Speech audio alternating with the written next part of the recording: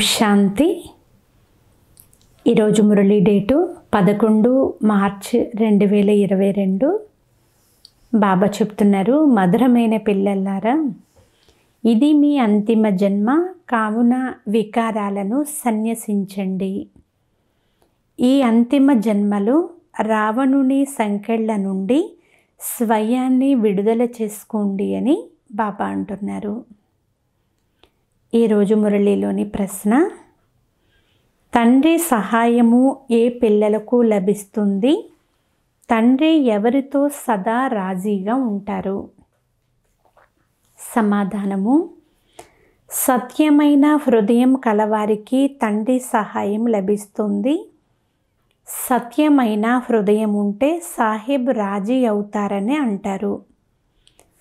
ఎవరైతే తండ్రి ఇచ్చే ప్రతి నిర్దేశాన్ని అమలు చేస్తారో తండ్రి వారిపైన తప్పకుండా రాజీ అవుతారు.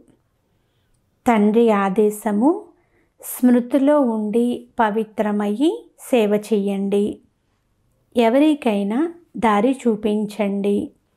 శూద్ర సాంగత్యము నుండి మిమ్మల్ని మీరు సంభాళించుకోండి.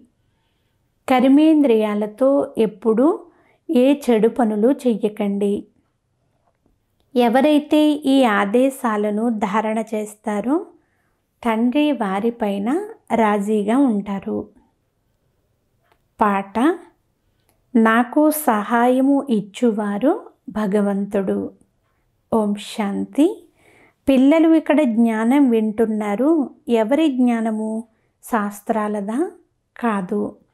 మనుషులందరూ శాస్త్రాల జ్ఞానం తీసుకుంటారు అని పిల్లలకు తెలుసు. మనకు ఇక్కడ పరంపిత పరమాత్మ జ్ఞానం ఇస్తున్నారు. శాస్త్రాలు మొదలైనవి చదివేవారు లేక అధ్యయనం చేసే సన్యాసులు ఎవ్వరూ ఈ విధంగా చెప్పరు. వారు వినిపించేది జ్ఞానము కాదు. ఏ సత్సంగంలోనైనా మనుష్యులు కూర్చుని ఉంటారు. వారిని శాస్త్రి గారు పండితులు లేక మహాత్మ గారు అని అంటారు. పేరుతో సంబంధము మనుష్యులకే ఉంటుంది. ఇక్కడ మనకు జ్ఞానం ఇచ్చేది ఏ మనిషి కాదు అని.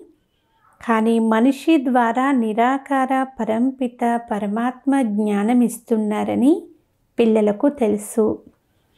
ఇటువంటి మాటలు ఏ సత్సంగంలోనూ వినిపించరు. ఉపన్యసించే వారి బుద్ధిలో కూడా ఈ విషయాలు ఉండవు. మనకు జ్ఞానమునిస్తున్నవారు ఏ మనిషి కానీ దేవత కానీ కాదు. భలే ఈ సమయంలో దేవీ దేవత ధర్మము లేకున్నా సూక్ష్మ వతనవాసులైన బ్రహ్మ విష్ణు శంకరుల పేర్లు గాయనం చేయబడతాయి. లక్ష్మీ నారాయణులు మొదలైన వారంతా దైవీ గుణాలు గల మనుష్యులు. ఈ సమయంలో అందరూ అసురీ గుణాలు గల మనుష్యులు. నేను ఒక ఆత్మను అని ఫలానా వారి ద్వారా పరమాత్మ మాకు జ్ఞానం ఇస్తున్నారు అని మనుష్యులు ఎవ్వరూ భావించరు. వారు ఫలానా మహాత్మ ఫలానా శాస్త్రి మాకు కథను వినిపిస్తున్నారు. వేద శాస్త్రాలు మొదలైనవి వినిపిస్తున్నారు గీతను వినిపిస్తున్నారు అని భావిస్తారు. తండ్రి అంటున్నారు నేను మీకు ఇటువంటి శాస్త్రాల విషయాలు వినిపించను. మీరు స్వయాన్ని ఆత్మాని నిశ్చయం చేసుకున్న తరువాత పతిత పావన రండి అని అంటారు. వారు సర్వుల దుఃఖహర్త సుఖకర్త శాంతిదాత అంతేకాదు వారు సర్వుల ముక్తి జీవన్ముక్తి దాత కూడా అని బాబా అంటున్నారు. వారు మనిషి కాదు. మనుషులు ఉదయమే లేచి చాలా భక్తి చేస్తారు. కొంతమంది భజన చేస్తారు. కొంతమంది కథలు చదువుతారు. వింటారు. ఇదంతా భక్తి మార్గము. భక్తి మార్గంలోని వారికి భక్తి మార్గం అంటే ఏమిటో తెలియదు. ఎక్కడ చూసినా భక్తే భక్తి జ్ఞానము పగలు భక్తి రాత్రి. జ్ఞానం ఉన్నప్పుడు భక్తి ఉండదు. భక్తి ఉన్నప్పుడు జ్ఞానం ఉండదు. ద్వాపర కలియుగాలు భక్తి సత్య త్రేతాయుగాలు జ్ఞాన ఫలము. ఫలమిచ్చేది ఆ జ్ఞాన సాగరులే. భగవంతుడు ఏ ఫలితాన్ని ఇస్తారు? ఫలము అనగా వారసత్వము. భగవంతుడు ముక్తి వారసత్వాన్ని ఇస్తారు. వారి వెంట ముక్తి ధామంలోకి తీసుకొని వెళ్తారు. ఈ సమయంలో మనుష్యుల సంఖ్య ఎంతగా పెరిగిపోయింది అంటే నివసించడానికి కూడా స్థలము లేదు అంటున్నారు బాబా. తినుటకు తగినంత ధాన్యము లేదు. అందువలన భగవంతుడు రావలసి వస్తుంది. రావణుడైతే అందరినీ పతితముగా చేసేసాడు మళ్ళీ పతిత పావనులు వచ్చి పావనముగా చేస్తారు. పావనంగా చేయువారు పతితముగా చేయువారు ఇద్దరు వేరువేరు. పావన ప్రపంచాన్ని పతితముగా చేసినది ఎవరో? పతిత ప్రపంచాన్ని పావనముగా చేసినది ఎవరో? ఇప్పుడు మీరు తెలుసుకున్నారు. పతిత పావన రండి అని ఒక్కరిని పిలుస్తారు. సర్వుల పాలనాకర్త ఒక్కరే. సత్యయుగంలో ఒక్కరు కూడా వికారీలు ఉండరు. పతితులు అనగా వికారాలకు వశమయ్యేవారు. సన్యాసులు ఎప్పుడూ కూడా వికారాలకు లోబడరు. అందువలన వారిని పతితులు అని అనరు. పంచ వికారాలను సన్యసించిన వారిని పవిత్ర ఆత్మలు అని అంటారు. నెంబర్ వన్ వికారము కామము క్రోధము సన్యాసులలో కూడా చాలా ఉంది. స్త్రీని అనగా భార్యని వదిలేస్తారు. స్త్రీల సాంగత్యంలో మనుషులు నిర్వీకారులుగా ఉండలేరు అని వివాహం యొక్క అర్థమే కామము అని భావిస్తారు. సత్యయుగంలో ఈ నియమం లేదు. తండ్రి తెలియచేస్తున్నారు పిల్లలు అక్కడ ఎవ్వరూ పతితులు అనేవారు ఉండనే ఉండరు. దేవతల మహిమ సర్వగుణ సంపన్నులు సంపూర్ణ నిర్వికారులు. రావణ రాజ్యము ద్వాపర యుగము నుండే ప్రారంభమవుతుంది. తండ్రి స్వయంగా చెప్తున్నారు కామమును జయించండి మీరు నన్ను స్మృతి చెయ్యండి. పవిత్ర ప్రపంచాన్ని స్మృతి చెయ్యండి. అలా చేస్తే మీరు పతితులుగా అవ్వరు. నేను పావన ప్రపంచాన్ని స్థాపన చేసేందుకు వచ్చాను. మరో మాట మీరు ఒకే తండ్రి పిల్లలు బ్రాహ్మణ బ్రాహ్మణీలు కనుక పరస్పరంలో మీరు సోదర సోదరీలు. ఈ విషయము ఎంతవరకు బుద్ధిలో బాగా కూర్చోదో అంతవరకు వికారాల నుండి విడుదల అవ్వలేరు. ఎంతవరకు బ్రహ్మ సంతానముగా అవ్వరో అంతవరకు పావనంగా అవ్వడం చాలా కష్టము. సహాయం లభించదు. బ్రహ్మ మాట వదిలేసిన మేము భగవంతుని పిల్లలము అని మీరందరూ అంటారు. ఈ లెక్కతో అందరూ సోదరి సోదరులము అని సాకారంలో అంటారు. మరి అటువంటప్పుడు వికారాలకు వశమవ్వకూడదు కదా అంటున్నారు బాబా.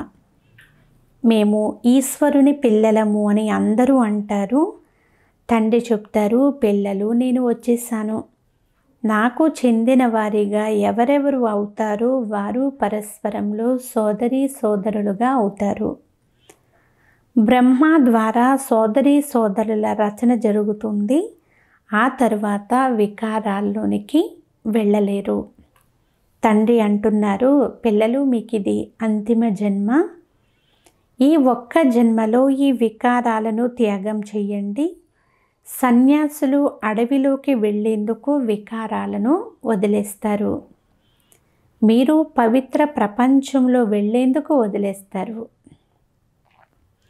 సన్యాసులకు ఏ విధమైన చంచలత ఉండదు. గృహస్థులు వారిని చాలా గౌరవిస్తారు. కానీ వారు మందిరాలలో పూజింపబడేందుకు అర్హులుగా అవ్వరు. మందిరంలో పూజకు అర్హులు దేవతలు. ఎందుకంటే దేవతల యొక్క ఆత్మ శరీరము రెండూ పవిత్రంగా ఉంటాయి. ఇక్కడ మనకు పవిత్ర శరీరం లభించదు. ఇది తమో ప్రధానమైన పతిత శరీరము. పంచతత్వాలు కూడా పతితముగా ఉన్నాయి. అక్కడ ఆత్మ పవిత్రముగా ఉంటుంది. అందువలన పంచతత్వాలు కూడా సత్వ ప్రధానముగా పవిత్రముగా ఉంటాయి. ఇప్పుడు ఆత్మ కూడా తమో ప్రధానమే. అందువలన పంచతత్వాలు కూడా తమో ప్రధానంగా ఉన్నాయి. అందుకే వరదలు తుఫానులు చాలా వస్తున్నాయి. ఎవరికైనా దుఃఖం ఇవ్వడాన్ని తమో గుణము అని అంటారు. సత్యయుగంలో తత్వాలు కూడా ఎవరికి దుఃఖాన్ని ఇవ్వవు. ఈ సమయంలో మనుష్యులందరి బుద్ధి తమో ప్రధానముగా ఉంది. సతో రజో తమోలలో తప్పకుండా రావలసిందే అని బాబా అంటున్నారు. లేకుంటే పాత ప్రపంచముగా ఎలా అవుతుంది? మళ్ళీ కొత్తగా చేయువారు ఎలా వస్తారు? ఇప్పుడు తండ్రి అంటున్నారు పిల్లలు పావనముగా అవ్వండి ఇది అంతిమ జన్మ. రావణుని సంకెళ్ళ నుండి స్వయాన్ని విడిపించుకోండి. అసురి మతమును అనుసరించి అర్ధకల్పం పతితులుగా ఉన్నారు. ఇది చాలా చెడ్డ అలవాటు. అన్నింటికంటే పెద్ద శత్రువు కామము. చిన్నతనంలోనే వికారాలకు వశమైపోతారు. ఎందుకంటే ప్రస్తుత కాలంలో అటువంటి సాంగత్యం లభిస్తుంది. సమయమే ఇప్పుడు అలాంటిదిగా అవుతుంది. పతితులుగా తప్పకుండా అవ్వాల్సిందే. సన్యాస ధర్మం వారి పాత్ర కూడా ఉంది. సన్యాసులు సృష్టి దహించి మరణించకుండా కొంతవరకు రక్షిస్తారు. ఇప్పుడు డ్రామా గురించి పిల్లలైన మీకు మాత్రమే తెలుసు. భలే అంటారు క్రిస్టియన్ ధర్మానికి ఇన్ని సంవత్సరాలు అయింది అని. కానీ క్రిస్టియన్ ధర్మం ఎప్పుడు సమాప్తమవుతుందో వారికి తెలియదు. కలియుగము ఇంకా నలభై వేల సంవత్సరాలు కొనసాగుతుంది అని అంటారు. కావున క్రిస్టియన్ మొదలగు ధర్మాలన్నీ ఇంకా నలభై వేల సంవత్సరాలు వృద్ధి చెందుతూ ఉంటాయా? ఇప్పుడు ఐదు వేల సంవత్సరాలలోనే స్థలము చాలకుంటే నలభై వేల సంవత్సరాలలో ఏమవుతుందో చెప్పలేము అంటున్నారు బాబా. శాస్త్రాలలో చాలా వ్యర్థ ప్రలాపాలు గొప్పలు వ్రాసేశారు. అందువలన ఎవరో అరుదుగా ఈ విషయాలను అర్థం చేసుకుని అడుగడుగున శ్రీమతాన్ని అనుసరిస్తారు. శ్రీమతాన్ని అనుసరించడం చాలా కష్టము అంటున్నారు బాబా. ఏ లక్ష్మీనారాయణలను అందరూ పూజిస్తున్నారో ఆ లక్ష్మీనారాయణులుగా ఇప్పుడు మీరు అవుతూ ఉన్నారు. అది మీకు మాత్రమే నెంబర్ వారీగా తెలుసు. ఇప్పుడు తండ్రి అంటున్నారు పిల్లలు నన్ను స్మృతి చెయ్యండి మరియు ఇంటిని స్మృతి చెయ్యండి ఇల్లు త్వరగా జ్ఞాపకం వస్తుంది కదా.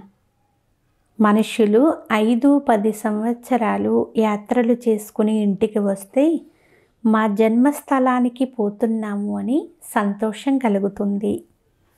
ఆ యాత్రలు కొద్ది సమయానికి చెందినవే అందువలన ఇంటిని మర్చిపోరు.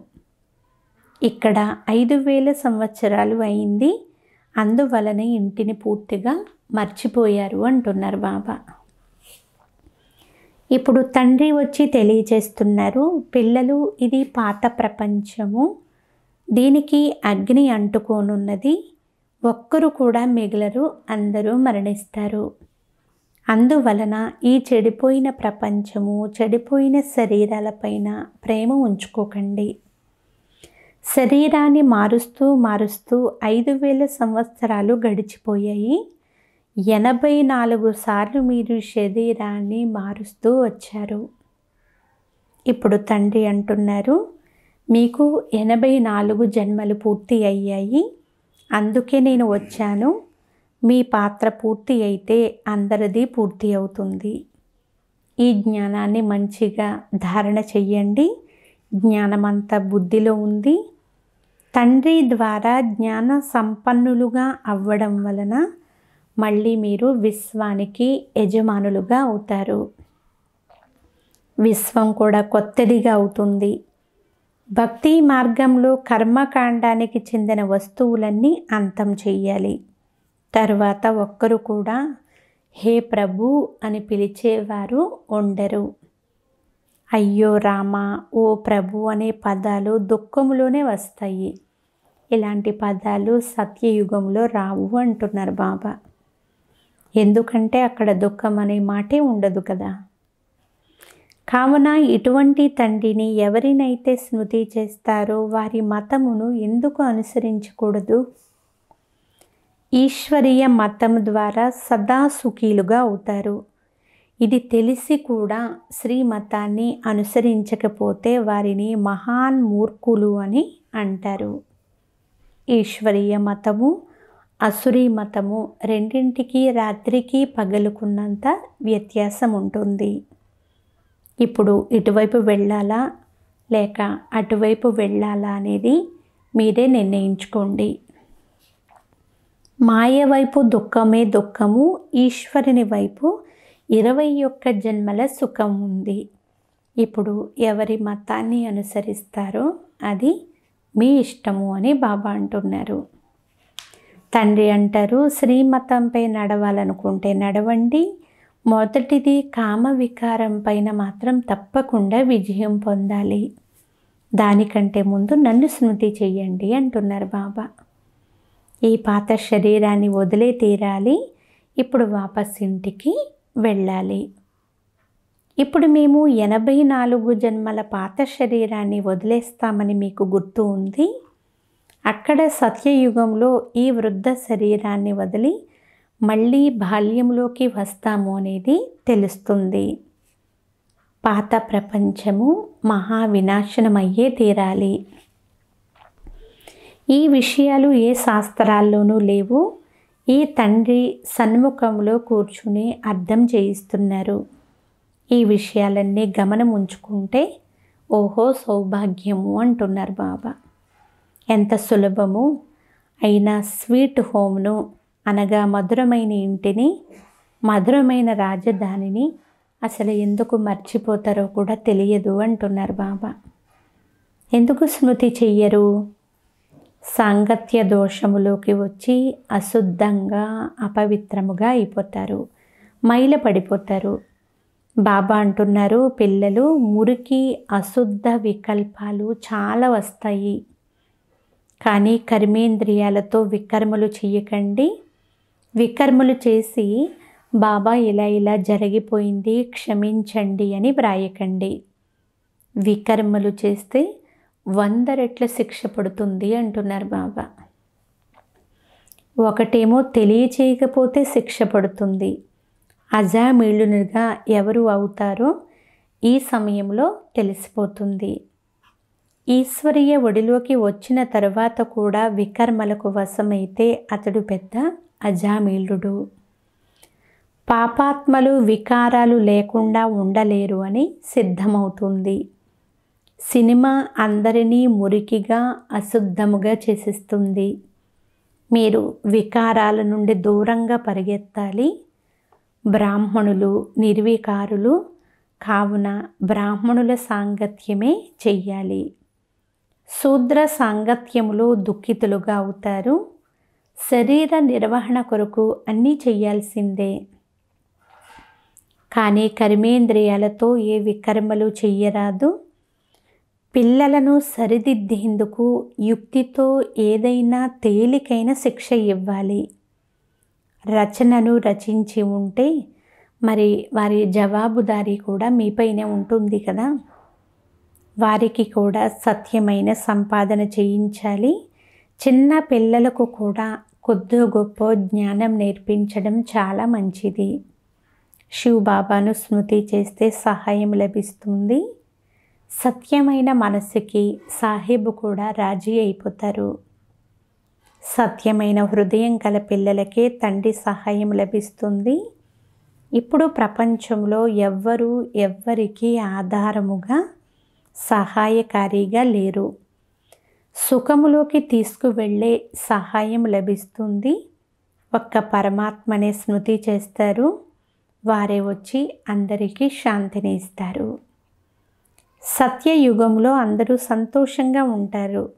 మిగిలిన ఆత్మలన్నీ శాంతి దేశంలో ఉంటాయి. భారతదేశం స్వర్గంగా ఉండేది అందరూ విశ్వానికి యజమానులుగా ఉండేవారు. అశాంతి కోట్లాటలు యుద్ధాలు ఏమీ ఉండేవి కాదు. ఆ నూతన ప్రపంచాన్ని రచించిన వారు తప్పకుండా బాబానే అయి ఉంటారు బాబా నుండి వారసత్వం లభించి ఉంటుంది. ఎలా? ఇది కూడా ఎవ్వరికీ అర్థం కాదు. దానిని రామరాజ్యము అని అనేవారు. ఇప్పుడు ఆ రామరాజ్యం లేదు. ఒకప్పుడు ఉండేది. సత్యమే కదా ఇది అంటున్నారు బాబా. పూజ్యముగా ఉండే భారతదేశం ఇప్పుడు పూజారిగా అయిపోయింది. మళ్ళీ తప్పకుండా పూజ్యముగా అవుతుంది. ఇప్పుడు మీరు పురుషార్థం చేస్తున్నారు. శివ భగవాను వాచ. శ్రీకృష్ణుని ఆత్మ అంతిమ జన్మలో వింటూ ఉంది. ఈ ఆత్మ మళ్ళీ శ్రీకృష్ణునిదిగా అవుతుంది. ఉదయమే లేచి బాబాను స్మృతి చెయ్యాలి. అమృత వేళ సమయం చాలా మంచిది. వైబ్రేషన్లు ప్రకంపనలు కూడా శుద్ధంగా ఉంటాయి. రాత్రికి ఆత్మ అలసిపోయినప్పుడు నేను శరీరం నుండి డిటాచ్ అయిపోతాను అని అంటుంది. మీరు కూడా ఇక్కడ ఉంటున్న బుద్ధి యుగం అక్కడ జోడింపబడి ఉండాలి. అమృత వేళ లేచి స్మృతి చేసినందువలన పగలు కూడా స్మృతి ఉంటుంది. ఇది సంపాదన. ఎంతగా స్మృతి చేస్తే అంత వికర్మాజీతులుగా అవుతారు. ధారణ జరుగుతుంది. ఎవరు ఎంత పవిత్రముగా అవుతారో స్మృతిలో ఉంటారో వారే సేవ కూడా చేయగలుగుతారు.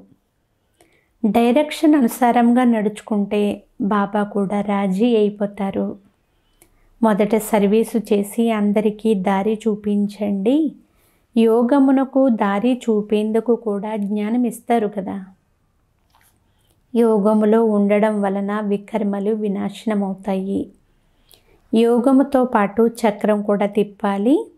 రూప బసంతగా అనగా జ్ఞానులుగా యోగులుగా అవ్వాలి. తర్వాత పాయింట్లు కూడా వస్తూ ఉంటాయి అని బాబా అంటున్నారు. అచ్చా! మధురాతి మధురమైన అపరూపమైన పిల్లలకు మాతాపిత బాప్దాదాల ప్రియస్మృతులు మరియు గుడ్ మార్నింగ్. ఆత్మిక పిల్లలకు ఆత్మిక తండ్రి నమస్తే.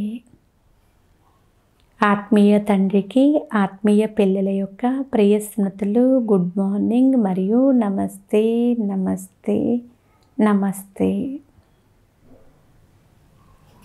ధారణ కొరకు ముఖ్య సారము ఫస్ట్ పాయింట్. ఈ చెడిపోయిన ప్రపంచము పాడైపోయిన దేహము నుండి మమకారమును తొలగించి తండ్రిని ఇంటిని మాత్రమే స్మృతి చెయ్యాలి శూద్ర సాంగత్యము నుండి మిమ్మల్ని మీరు కాపాడుకోవాలి. సెకండ్ పాయింట్ వికర్మాజీతులుగా అయ్యేందుకు అమృత వేళ లేచి స్మృతిలో కూర్చోవాలి. ఈ శరీరము నుండి భిన్నమయ్యేటటువంటి అభ్యాసం చెయ్యాలి. వరదానము. పాత ప్రపంచము పాత సంస్కారాల ఆకర్షణ నుండి జీవించి ఉండే మరణించే యథార్థమైన మరజీవ భవ. సారాంశము యథార్థముగా జీవించి ఉండే మరణించుట అనగా సదా కొరకు పాత ప్రపంచము లేక పాత సంస్కారాల నుండి సంకల్పము మరియు స్వప్నములో కూడా మరణించుట. మరణించడము అనగా పరివర్తన అవ్వడము. వారిని ఏ ఆకర్షణ కూడా తన వైపు ఆకర్షించలేదు. వారు ఎప్పుడు ఏం చెయ్యాలి అనుకోలేదు కానీ జరిగిపోయింది ఇలాంటి మాటలు అనరు. చాలామంది పిల్లలు జీవించి ఉండే మరణించి మళ్ళీ జీవిస్తారు. రావణుని ఒక తల సమాప్తం చేస్తే రెండవది వస్తుంది. కానీ పునాదినే సమాప్తం చేస్తే రూపం మార్చుకొని మాయ దాడి చెయ్యలేదు అంటున్నారు బాబా. స్లోగన్ సదా ఎవరైతే స్మృతి మరియు సేవలు బిజీగా ఉంటారో వారే అందరికంటే లక్కీ అనగా అదృష్టవంతులు అని బాబా చెప్తున్నారు. అచ్చా ఓం శాంతి.